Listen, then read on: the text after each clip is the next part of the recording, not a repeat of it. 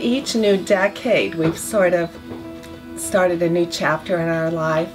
You know, you finish graduate school, you have children, they graduate, you have grandchildren.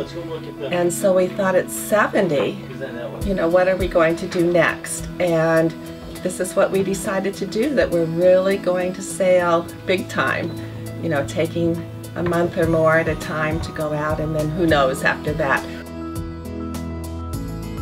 Now the boat definitely exceeds our expectations and and the uh, all of the interior work in particular exceeds my expectations. Performance of the boat was up to expectations, but I had a high, very high expectations in terms of sailing.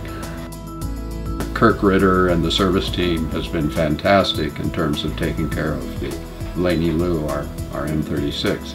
And uh, that, plus the the uh, you know local service, just their whole service-based uh, attitude of everyone in Morris is fantastic. You know that saying that you know in a sailing boat you're not you don't, you're not getting somewhere, you're already there right. because you're yeah, already yeah, sailing. right. And I would say that for Mark, you're already there the minute you start planning the boat because he has been so excited about this. When we really do want to do something like the Bermuda race or something like that, then we can do it.